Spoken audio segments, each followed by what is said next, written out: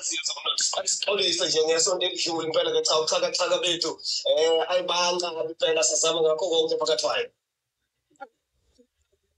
ngabe yes yes. kuyintosi kakhulu um phakathi kwayo ukuthi sithole leli thuba osukwini namhlanje usiphatheleni ikakhulukazi kwezomnotho phakathi kwayo osukwini namhlanje ngoba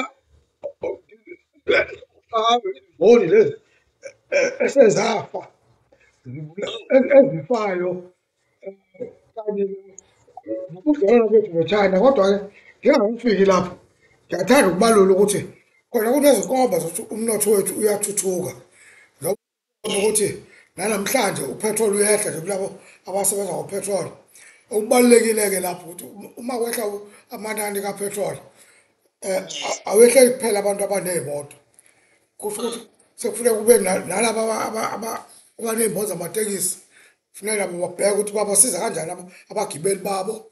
Um futhi-ke kuthi nakulabo abasezitolo ngoba phela abadayisayo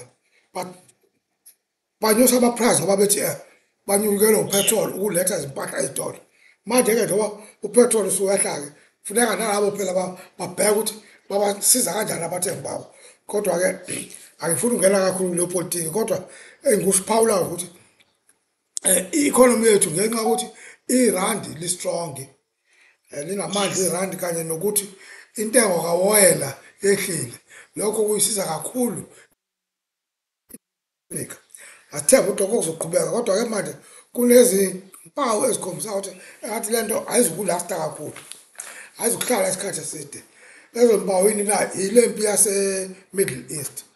Njengoba nje sengiqale manje sengene no-iran sewubhombana no-israel ake njengoba sazi o-iran phela ibona amazwe lawa akhiqiza uwoyela kusho ukuthi-ke i-supply kawoyela izoncipha bese iyanyuka i-price kawoyela bese siphinde sibuyela ekuhluphekeni so nje kubalulekile ukuthi kulabo bantu abakhuluma ezoxolo e-united nations benze sure ukuthi impela lezi ngxoxo ziyaphumelela ngoba asikwazi ukuthi singamelana nenye impi. Umnotho wethu udiphende kakhulu ukuthi kungabi khona impi. Akuwona umnotho waseningizimu afrika kuphela. Iminotho nje yamazwe amaningi iyadinga ukuthi kungabi khona impi ukuze iphumelele. Yeah yeah. Ngiyayithanda kakhulu leyo phakathi kwayo